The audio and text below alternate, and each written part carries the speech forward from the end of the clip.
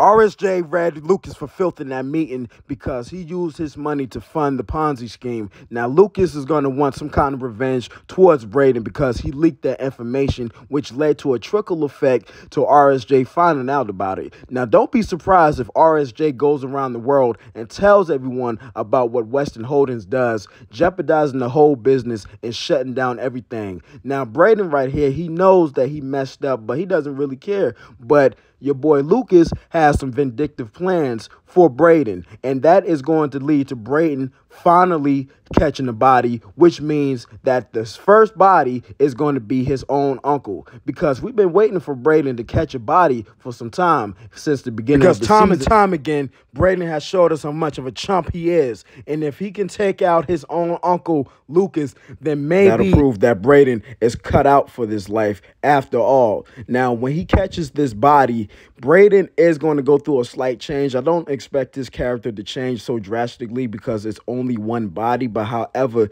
this is a family member. You know what I'm talking about? This is a family member we're talking about. And Power has a wild, weird ass obsession with family members killing family members in this series. When Kanan killed his own son, when Tommy killed his own father, when Tariq killed his own father.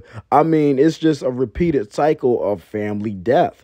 And so when Brayden finally kills his uncle Lucas, it's definitely going to affect him, but it is going to numb him once he gets deeper in the game. And him and Tariq are going to be equally the same. Now, this whole comparison between Ghost and Tommy and and and and, and, and Tariq and Brayden. I don't see it they at all. The first Tariq and Brayden though, they have their own story. But for them to be a whole emulation of Tommy and Ghost, get out of here. There will never be anything like that. They don't compare, and I'm not accepting that. But Brayden is going to step up to the plate because we're getting towards the end game. Well, the season finale. We still haven't seen Noma yet.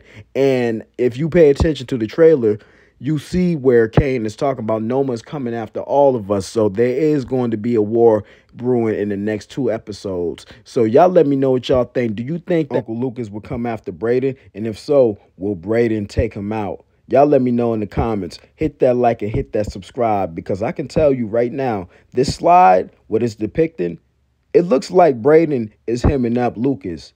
And from the looks of it, it doesn't look like the result is going to be good. It don't look like it's going to be a scuffle and someone breaks it up. It don't look like someone's going to win the fight.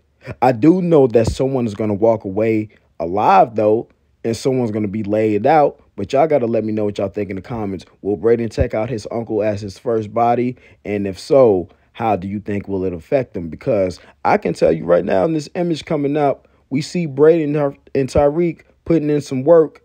And it seems like it's going to be in the last episode. And season finale is crazy in the Power seasons. So, yeah, we're waiting for this moment. And it's going to be lit. But anyway, I'm off this. Y'all take care of yourselves. I'm gone.